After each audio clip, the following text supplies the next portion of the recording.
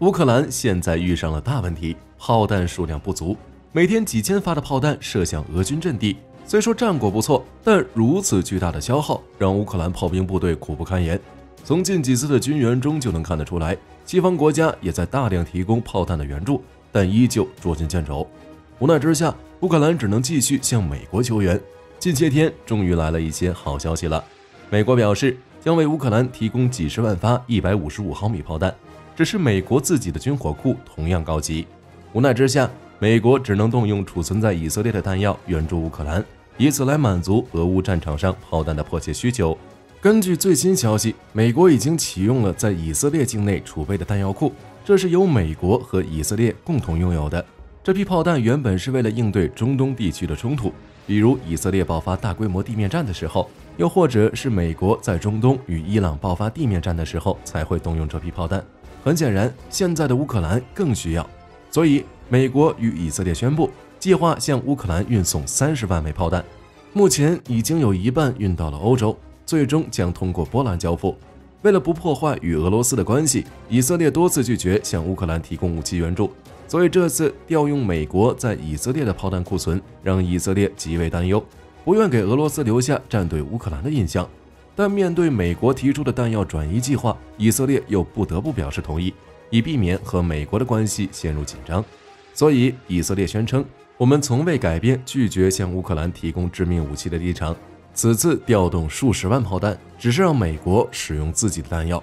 目前的俄乌战场俨然已经成为了火炮驱动的消耗战，几乎所有人都能想到，在接下来的春季大攻势中，火炮将扮演更加重要的角色，甚至战场的结果都要取决于谁先耗尽炮弹。这种情况已经在乌东战场取得了验证，巴赫穆特前线就是一场被火炮驱动的消耗战，俄乌双方每天要向战场投射数千枚炮弹。在经历几个月的战斗后，这片战场已经是遍地弹坑。但乌克兰最大的问题就是炮弹不足，而乌军在前线扎根稳固。如果乌克兰失去了稳定的弹药供应，别说组织春季大攻势了，就连阵地战都会陷入危险。如果乌克兰可以获得稳定的弹药供应，尤其是火炮以及相关备件，那么乌克兰就能凭借各种火炮夺回被俄罗斯占领的领土。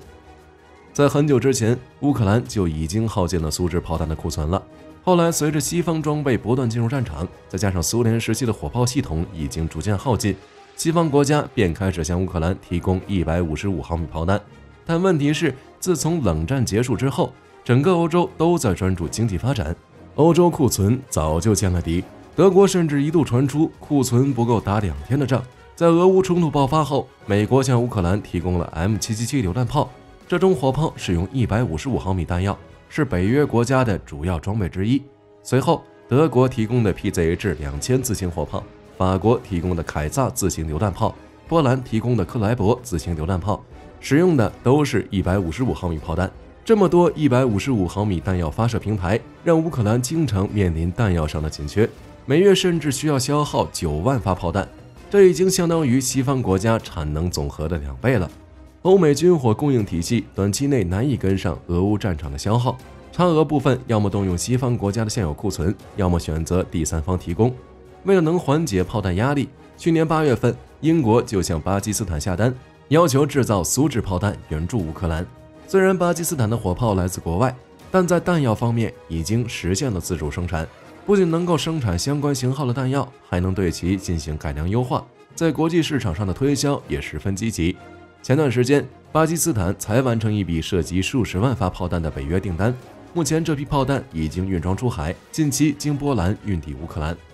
但乌克兰面临的问题不仅仅是一百五十五毫米弹药短缺，其他型号同样面临相同的问题。德国向乌克兰援助猎豹自行高射炮后，该炮使用的三十五毫米口径炮弹马上就被乌克兰用光了。之后，请求柏林继续援助，但这种炮弹并不是德国生产的。而是瑞士生产后再出口给德国的。德国想要援助给其他国家，必须得到瑞士的授权，但最终瑞士没有同意。这样一来，乌克兰即便拥有德国援助的猎豹自行高射炮，也是只能看不能用，因为有炮无弹。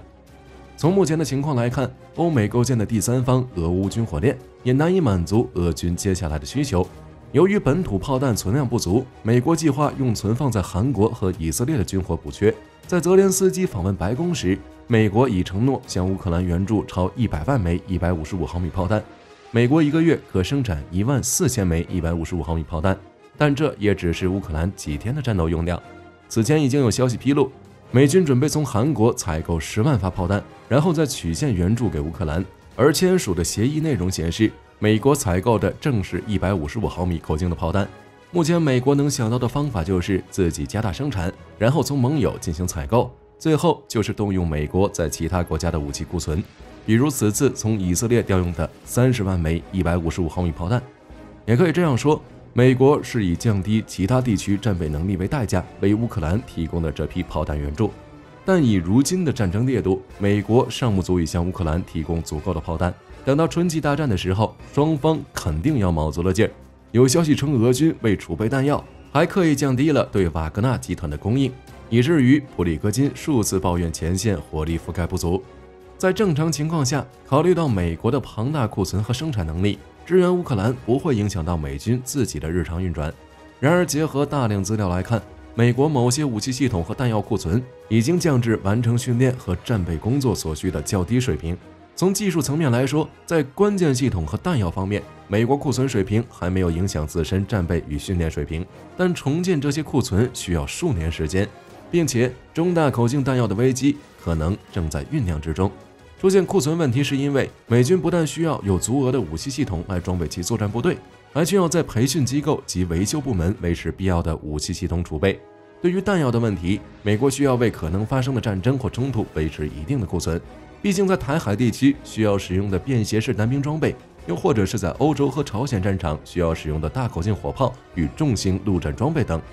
当然，美国也专门划出了预算，用来加速军工产业快速扩大生产，提供弹药整体产能。但大多数扩产项目的实施过程可能需要以年来计算。归根结底，是因为冷战结束以后，美国国内军工厂的产能是基于和平时期的军事订单需要而规划的。保留高于美军日常订购的生产能力，被认为是一种浪费。将其他生产线或工厂的产能转入军工生产是可能的，但耗时过长。即便在第二次世界大战中，在美国被完全动员起来的形势下，这种转变仍然花费了两到三年的时间。战争持续到今天，已经不是西方国家愿不愿意继续援助了，因为胜利就在眼前。尤其是春季大攻势迫在眉睫，西方国家肯定会继续采取行动，对乌克兰的各种援助自然不会停下。从冲突初期的毒刺标枪，升级到后来的海马斯火箭炮。布雷德利战车以及爱国者防空导弹，美国一直在提供乌克兰所需要的东西。